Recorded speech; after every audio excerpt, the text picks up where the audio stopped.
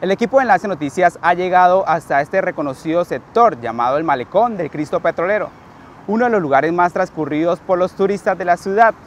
En este sector reposan un grupo de habitantes de calle de la ciudad. Un sacerdote revestido de sotana y su clériman en su cuello reparte alimentos a esta comunidad. Soy Carlos Cuadrado y aquí le colocaremos la lupa a los buenos. Esta es la historia de un humilde sacerdote que entrega alimentos a aquellas personas que viven en las calles de la ciudad. Padre Fren Vega Gaona comienza su día en su despacho parroquial, recibiendo desde muy temprano los alimentos que serán entregados durante la mañana.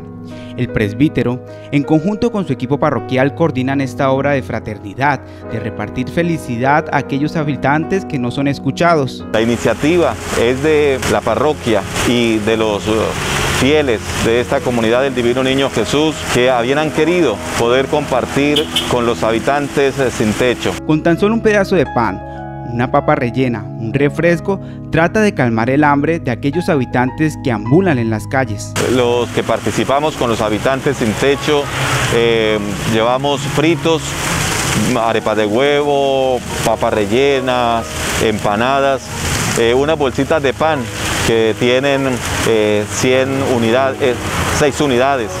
Cada bolsita de pan tiene 6 unidades y un refresco. En su carro cargado de suministro de alimentos, sale de la parroquia cada día por medio a recorrer las diferentes calles de la ciudad en busca de encontrar a los habitantes que no tienen techo. Aquellos que tengan posibilidad de compartir con el más necesitado, que lo hagan.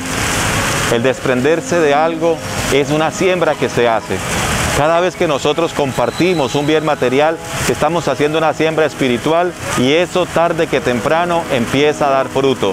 Y esos frutos son frutos abundantes. Algunos comerciantes del sector agradecen el gesto que realiza el Padre con los habitantes, ya que en repetidas ocasiones han observado la obra de caridad que hace con esta comunidad. Pues, en las veces que he tenido la oportunidad, pues por ahí cada tres días, cada cuatro días, pero sí continuamente el sacerdote de una u otra manera siempre está compartiendo con los abuelitos de esta, de esta sección.